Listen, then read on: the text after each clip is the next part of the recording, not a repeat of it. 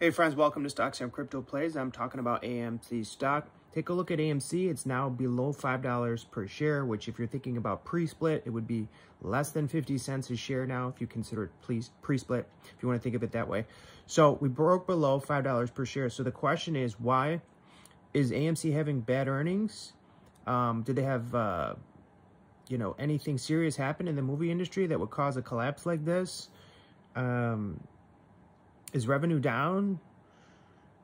Uh, what's going on? Because our most recent Q3 earnings show massive improvements over the previous quarter and over the previous year, and all the numbers for AMC are improving very strongly. So everything good is on the financial side is looking much better than it ever has in the last like several years since pre-pandemic okay and it's gotten better and better and better and better and better every quarter. So the question is why is amc stock crashing again and again and again? So that's what we need the answers to because it's not what's going on in the movie industry. We're not having failures of movies. We're not having a lack of revenue or anything like that. Yes we know the debt is there for amc we do know that. We also know we're dealing with a ceo that's working against us. But why is the stock crashing? Like are the market makers planning something again? Like, if you learn from Mullen Automotive and you watch Mullen and you saw how Mullen went through four reverse splits, you worry and you think, you're like, did criminal Adam Aron see what happened with Mullen and is he trying to do that same thing?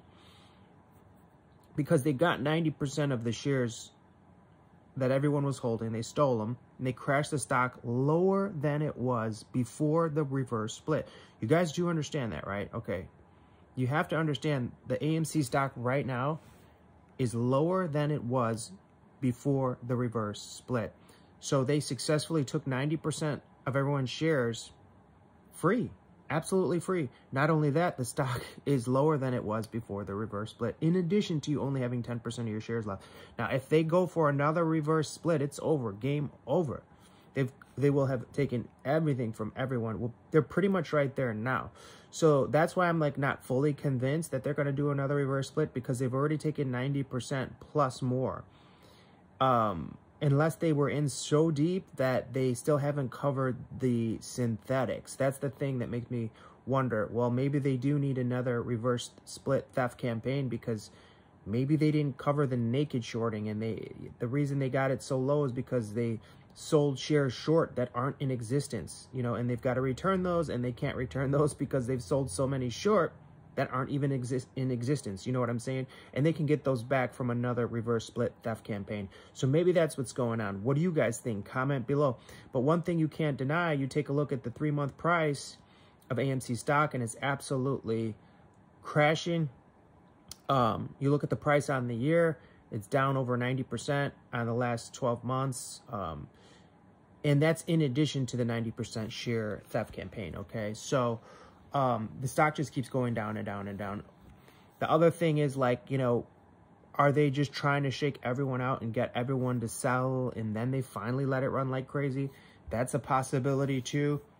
We just don't know. You just have to be very aware and continue to watch very closely what's going on. And you have to be cautious with it, you know? Now, if AMC goes down to like a dollar per share, then maybe you might buy a little more. Who knows? I don't know. But it's just so risky right now. And you can't trust the CEO.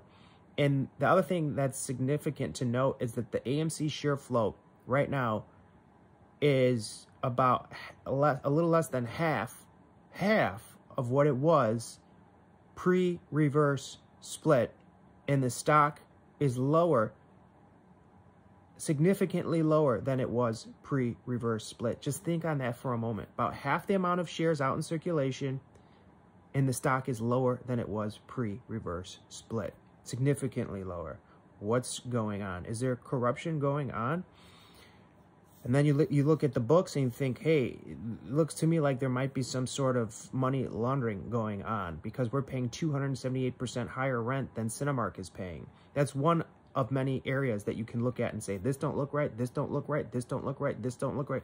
And then you look at the recent vote we had, and all 100% of broker votes approved to keep the um, AMC um, accountants, okay? They didn't want to switch accounting firms. And on all the other votes, they didn't vote 100% anywhere near it. And a lot of them, they didn't vote at all. But on that one, they voted 100%. Let's keep our accounting firm. I find that interesting too. What are they doing with the books?